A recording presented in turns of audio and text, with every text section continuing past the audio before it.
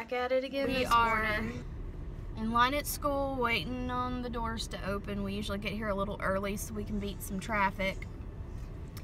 Oh, I'm so tired. Yeah, I'm tired too.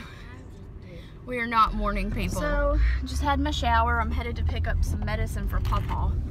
Um, and my kids are back in school and it's back to the real world. I don't like it. I feel really sad about it. And there's like three weeks until Christmas. And so, yeah, I don't know. Anybody else feeling that Thanksgiving's over depression? We're at Publix right now picking up some stuff for dinner tonight.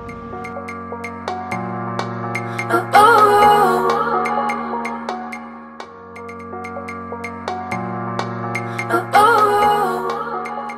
crock pot, I've got some diced onions. I'm going to add vegetable broth, diced tomatoes, turnip greens, and then I'll mix that all together. I've got some ground turkey going.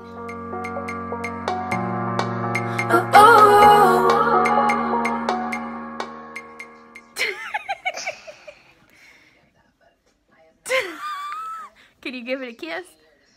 Um, Oh, that's so sweet. What are you doing? Hey, so everyone's in bed, including Matt. He pooped out early on me, wasn't feeling well.